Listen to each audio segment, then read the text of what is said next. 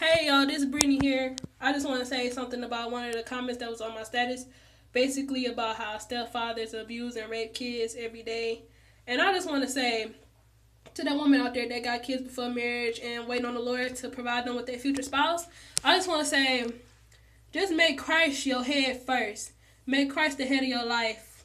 You know what I'm saying? Be in God first and pray that God, you know what I'm saying? I'm not saying all, oh, every day, pray for a husband every day. No, I'm just saying like focus on God and focus on your children, you know what I'm saying? And installing them to be great men and women of God. And I also want to say that God will bless you with a spouse that will take care of you and your children and have the best interest for you and your children. You know what I'm saying? Like everybody not out to get you, you know what I'm saying? And I just want to say that you have to you know what I'm saying, being God so you can get the right spouse. And it's like to that woman out there that's with this dude that's consistent, you know what I'm saying? Oh, y'all been together for this long. I might as well deal with him. I don't want to get to know nobody else. God will bless you with the right man. You know what I'm saying? But you got to be in God first. You know, you can't just be over here okay, I'm just okay with being stuck with what I'm in and expect God to bless you with something. No, you got to get out of something to get into something new. You got to let go of some old stuff to get God. You know what I'm saying? In order for you to get God, you have to let go of the old things, man. And I just want to say, you know, that God give you the signs, the wonders, everything, dreams, to let that person go because you don't want to be married to the wrong spouse, the wrong person.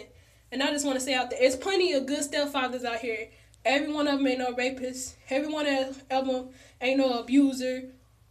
All of them not out to get you. They want the best for their kids. And they treat their kids like they're theirs. And I pray that God bless every person, you know, that you know, that want to be married, that have children before marriage with that spouse that have their best interest at heart. You know what I'm saying? And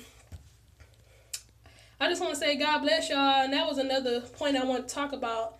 And I also want to say a little bit is, you know, like before me and James became a couple, he wasn't saved. Like, he wasn't saved. And I told him, like, we don't got no future if you're not saved. You know what I'm saying? And he was saying how you want to get saved, he want to be filled with the Holy Ghost and all that good stuff. And I told him, like, we don't got no future if you're not saved. Like, so my man's got saved. Not because of me, but because he wanted God.